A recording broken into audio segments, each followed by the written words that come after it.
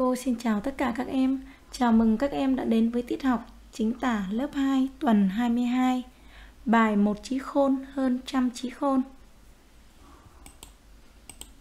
Bây giờ các em hãy quan sát cho cô giáo bức tranh sau. Các em cho cô giáo biết trong bức tranh đó là hình ảnh gì? À các em ạ, à, trong bức tranh đó là hình ảnh bác thợ săn đang đuổi theo con gà rừng đấy các em ạ. Và bức tranh thứ hai, các em quan sát thấy đó là hình ảnh gì? À, các em ạ, à, trong bức tranh thứ hai, đó là hình ảnh con trồn đang bỏ chạy khỏi hang đấy. Và đây là hai nội dung của bức tranh mà chúng ta đã được học ở bài tập đọc. À, một trí khôn hơn trăm trí khôn.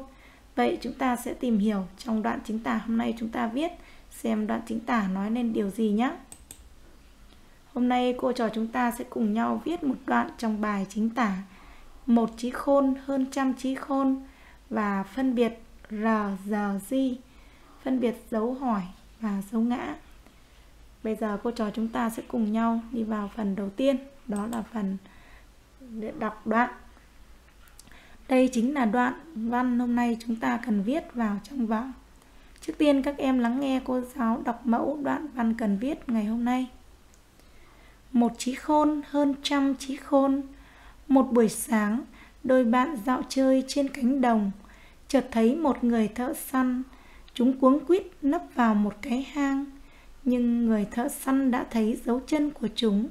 Ông reo lên, có mà trốn đằng trời. Nói rồi, ông lấy gậy thọc vào hang. Như vậy đây là đoạn văn mà chúng ta cần nghe viết ngày hôm nay. Bây giờ trước khi viết uh, nghe viết đoạn văn này, cô và các em sẽ cùng nhau tìm hiểu nội dung của đoạn này một chút nhé. Các em cho cô giáo biết trong đoạn văn gồm có mấy nhân vật, đó là những nhân vật nào? À, các em ạ, trong đoạn văn gồm có 3 nhân vật, đó là trồn, gà rừng và thợ săn đấy các em ạ. Tiếp theo, em hãy cho biết đoạn văn kể lại chuyện gì? Các em ạ, trong đoạn văn đã kể lại chuyện gà và trồn đang dạo chơi thì gặp bác thợ săn. Chúng sợ hãi và liền trốn vào hang và thợ săn đã tìm cách để bắt chúng đấy. Qua bạn đoạn văn này chúng ta phải biết yêu thương và bảo vệ, chăm sóc các loài vật nuôi, không nên săn bắn các loài động vật sống hoang dã các em nhé. Đoạn văn trên gồm có mấy câu? À, các em ạ, à, đoạn văn trên gồm có 4 câu. Đoạn văn trên có những chữ nào cần phải viết hoa? Vì sao chúng ta phải viết hoa? Các em ạ, à, trong đoạn văn trên có những chữ cần phải viết hoa, đó là các chữ sau. Chữ một, chữ chợt, chữ nhưng, chữ ông, chữ có và chữ nói. Các chữ này được viết hoa vì những chữ này là những chữ đầu câu. Các em hãy à, tìm câu nói của bác thợ săn trong đoạn này. Em hãy tìm câu nói của bác thợ săn trong đoạn này. Câu nói của bác thợ săn đó là có mà trốn đằng trời. Câu nói của bác thợ săn được đặt trong dấu gì? À, các em ạ, câu nói của bác thợ săn được đặt trong dấu ngoặc kép đấy. Đây chính là dấu ngoặc kép các em nhé. Để các em có thể viết được bài tốt, trước khi vào viết bài, cô và các em sẽ cùng nhau luyện viết một số tiếng từ dễ nhầm lẫn khi viết nhé. Cô mời các em hãy lấy giấy nháp ra chúng ta cùng nhau luyện viết những tiếng từ khó dễ nhầm lẫn khi viết. Cô mời các em đọc phát âm lại cho cô từ sau. Thợ săn. Thợ săn. Các em luyện viết vào vở cho, nháp cho cô từ thợ săn. Lưu ý cho cô chữ săn. Cuống quýt. Cuống quýt.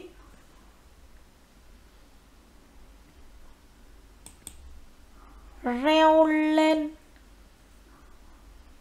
Reo lên.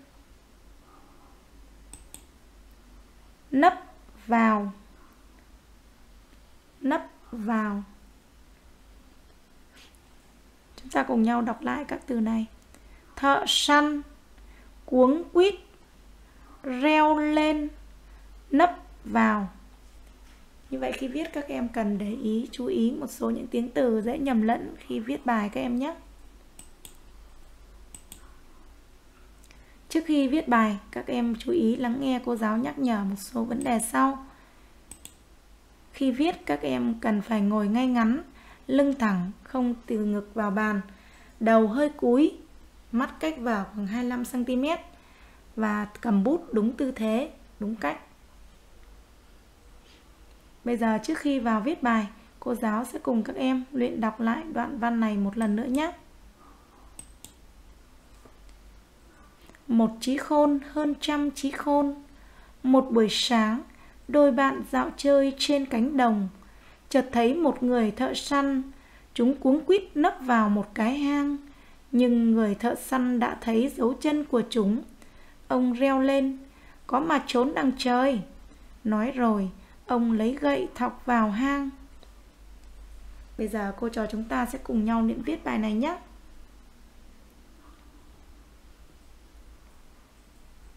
Cô mời các em hãy chuẩn bị vở, bút để chúng ta cùng nhau viết bài.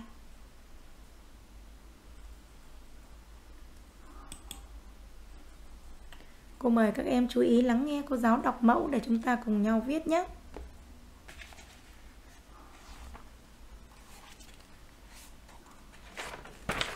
Cô mời các em bắt đầu viết bài. Đầu tiên chúng ta viết cách 4 ô, chúng ta viết chính tả. Chính tả. Xuống dòng cách 2 ô, chúng ta viết tên đầu bài. Một trí khôn một trí khôn. Hơn trăm trí khôn. Hơn trăm trí khôn. Một trí khôn. Hơn trăm trí khôn.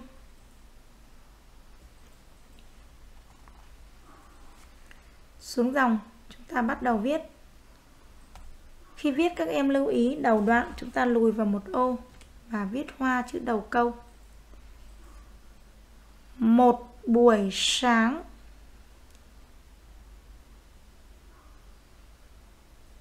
Một buổi sáng.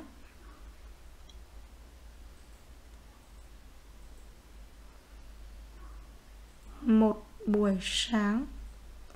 Phải đôi bạn dạo chơi. Đôi bạn dạo chơi.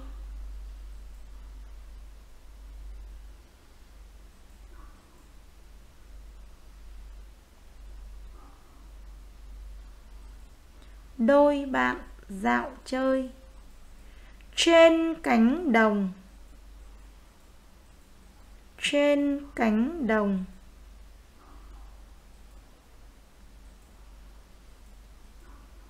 Trên cánh đồng.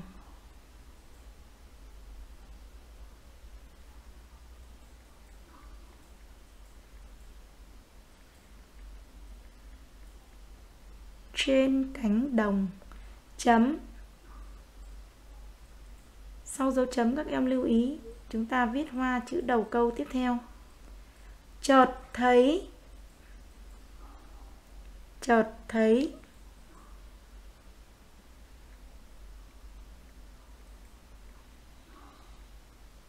Chợt thấy.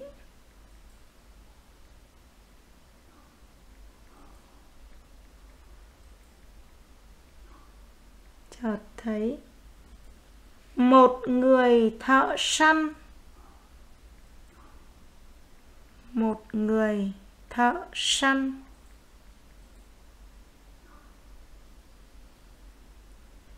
Một người thợ săn.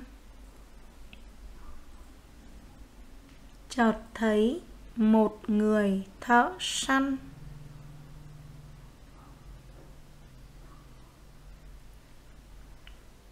Phải. Chúng cuống quýt. Chúng cuống quýt.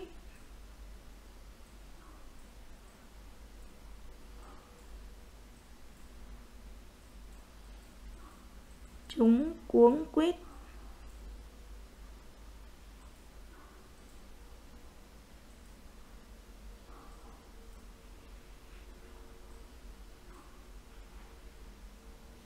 Chúng cuống quýt. Nấp vào một cái hang. Nấp vào một cái hang.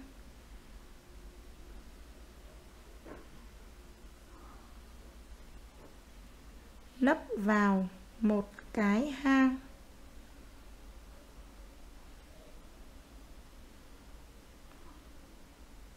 Nấp vào một cái hang. Chấm. Nhưng người thợ săn. Nhưng người thợ săn.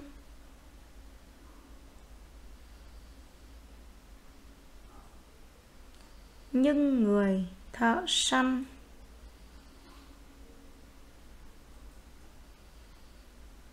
Nhưng người thợ săn đã thấy dấu chân. Đã thấy dấu chân.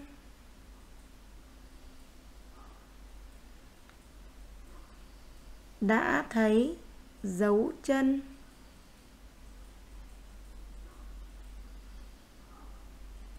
Đã thấy dấu chân của chúng. Của chúng.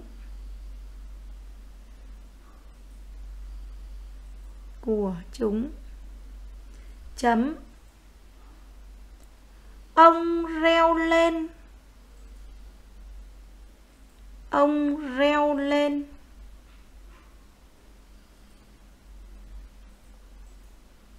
Ông reo lên. Hai chấm. Mở ngoặc ghép. Có mà trốn đằng trời có mà trốn đằng trời.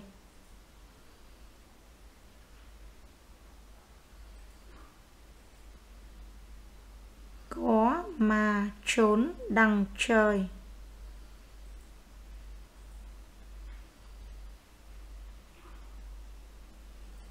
Có mà trốn đằng trời. Chấm than, đóng ngoặc kép.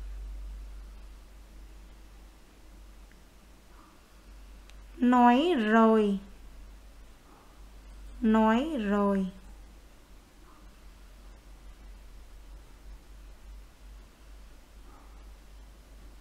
Nói rồi. Phải. Ông lấy gậy. Ông lấy gậy. Ông lấy gậy. Ông lấy gậy. Ông lấy gậy. Thọc vào hang. Thọc vào hang.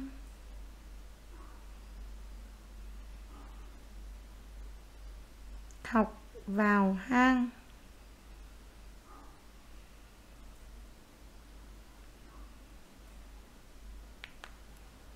Học vào hang. Chấm hết. Bây giờ các em nghe cô giáo đọc toàn bài để chúng ta soát lỗi.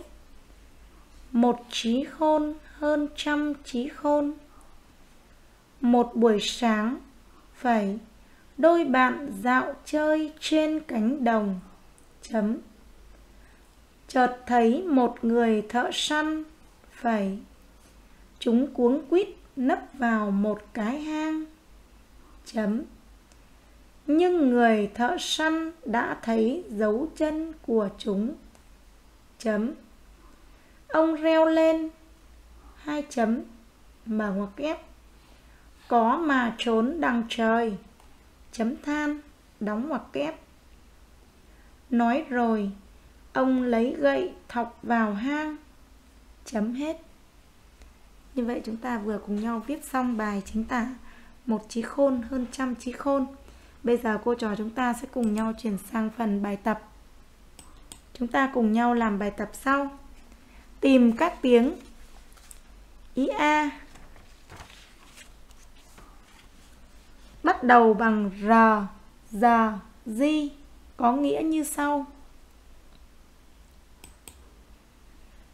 Kêu lên vì vui mừng các em hãy suy nghĩ và tìm tiếng bắt đầu bằng chữ r, chữ giờ hoặc chữ di có nghĩa là kêu lên vì vui mừng.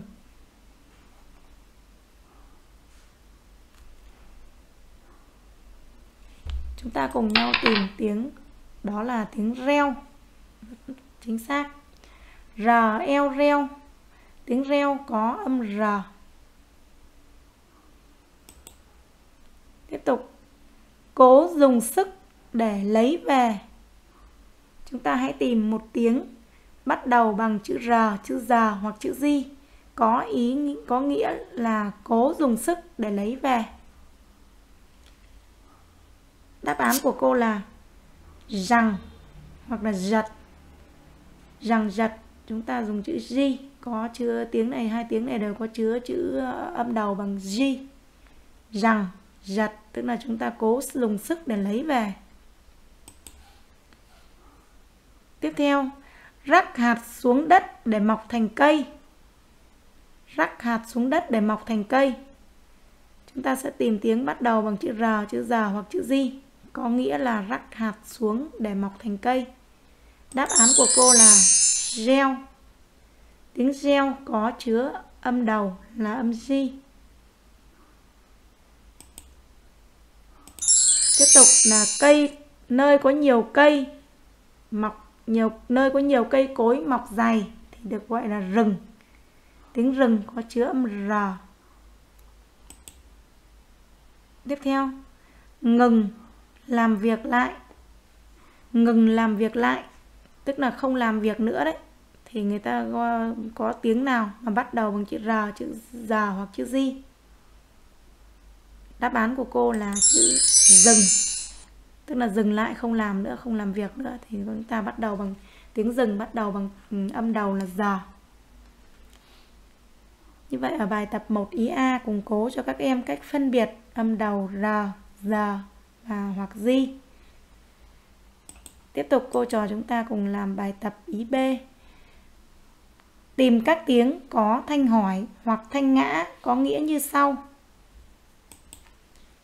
Ngược lại với thật, chúng ta tìm một tiếng có chứa thanh hỏi hoặc thanh ngã à, có nghĩa là ngược lại với thật. Ngược lại có nghĩa là trái nghĩa đấy, trái nghĩa với thật.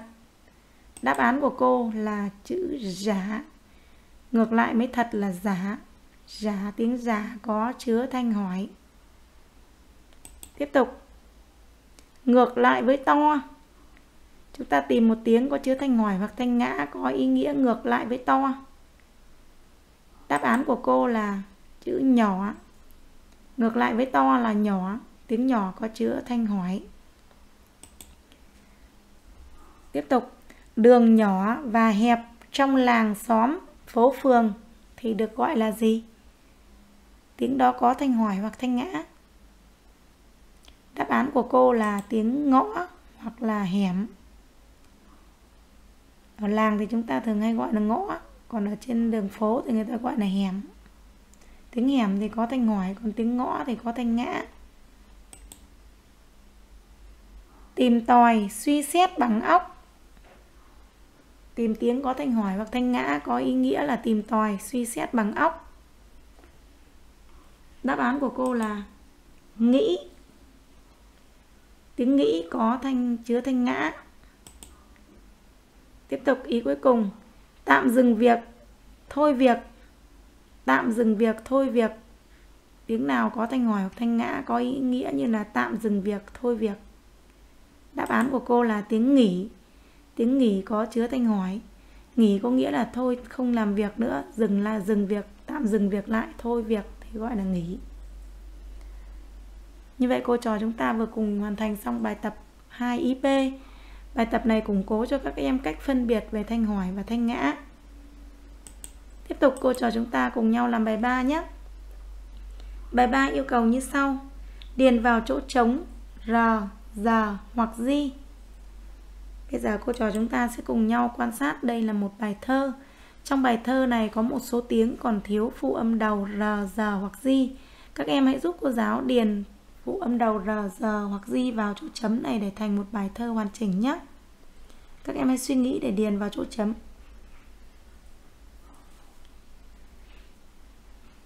Cô giáo có đáp án như sau. Tiếng chim cùng bé tưới hoa, mắt trong từng giọt. Chữ giọt chúng ta đã ghi bằng chữ âm đầu là G. Mắt trong từng giọt, nước hòa tiếng chim. Vòm cây xanh đố bé tìm. Tiếng nào? Riêng giữa chỗ này chúng ta sẽ điền chữ R và chỗ này chúng ta điền chữ G. Tiếng nào riêng giữa trăm nghìn tiếng chung như vậy cô và các em đã điền xong được uh, chữ còn thiếu vào chỗ chấm. Bây giờ chúng ta cùng nhau đọc lại bài thơ hoàn chỉnh nhé. Tiếng chim cùng bé tưới hoa mát trong từng giọt nước hòa tiếng chim vòm cây xanh, đố bé tìm. Tiếng nào riêng giữa trăm nghìn tiếng chung tiếp tục cô trò chúng ta cùng nhau làm bài tập B. Bài tập B yêu cầu như sau.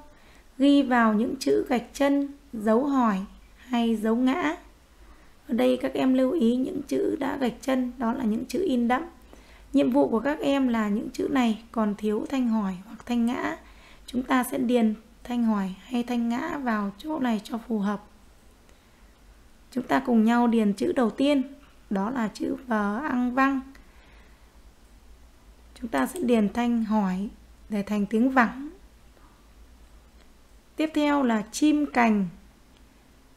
Chữ này chúng ta sẽ điền thanh hỏi đó là thỏ thẻ. Hai thanh hỏi, thỏ thẻ. Và dòng tiếp theo đó là em đứng à, chỗ này chúng ta điền chữ à, dấu thanh hỏi để thành chữ ngẩn ngơ. Sau khi điền xong cô mời các em hãy đọc lại bài thơ này. Vẳng từ vườn xa chim cành thỏ thẻ ríu rít đầu nhà tiếng bầy xe xẻ.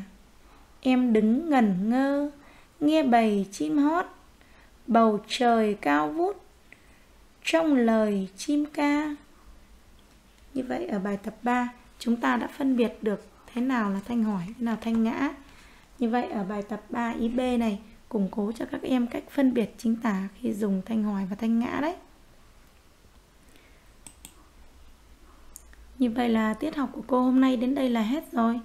À, về nhà các em hãy chú ý à, chúng ta có thể luyện viết lại một số những tiếng từ khó trong bài và lưu ý cách phân biệt âm đầu r, g, j và cách phân biệt thanh hoài và thanh ngã các em nhé. Tiết học của cô đến đây là hết rồi. Thân ái chào tạm biệt các em và hẹn gặp lại các em vào tiết học sau. Các em đã xem video, hãy bấm like để ủng hộ kênh, comment để nêu ý kiến của bạn đăng ký kênh để được xem video mới